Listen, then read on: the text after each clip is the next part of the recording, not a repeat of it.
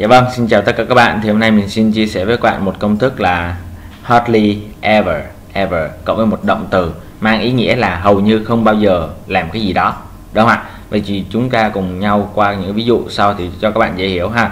Ví dụ như thứ nhất, ví dụ mình nói là she, she hardly ever learns English. Có nghĩa là cô ấy hầu như không bao giờ cái cụm này nè, cả cụm này nè. Hardly ever hầu như không bao giờ learn English là học tiếng Anh đúng không ạ? Vậy chỉ learn ở đây là một động từ đúng không ạ?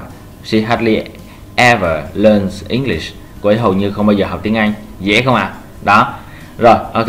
Qua câu ví dụ tiếp theo nha. Tiếp tục mình nói là I I hardly ever meet my classmates đúng không ạ? Anymore. Tức là tôi hầu như hầu như không bao giờ làm cái gì đây? Meet là một động từ ở đây. Mình tô màu đỏ nè.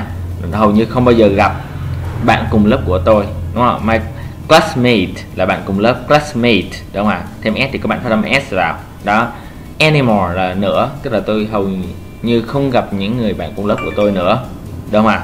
Rồi, chúng ta tiếp tục qua câu, ví dụ cuối cùng là she. She hardly ever calls me, đúng không ạ? Call, ở đây là một động từ, đúng không ạ? Call, đúng không ạ? Vậy đây là chủ ngữ ngôi basis nên mình chia động từ là s ở đây, đúng không ạ? Rồi So, I am upset. Upset có nghĩa là rất là buồn, Đúng không ạ? Cô ấy hầu như không bao giờ gọi cho tôi, Nên tôi rất là buồn, Đúng không ạ? Đó, dễ thôi. Vậy thì các bạn hầu như không bao giờ làm cái gì?